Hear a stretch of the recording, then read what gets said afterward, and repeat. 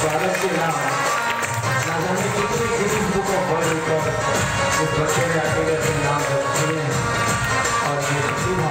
आगे चलकर भारत का नाम रोशन करेगा कल तक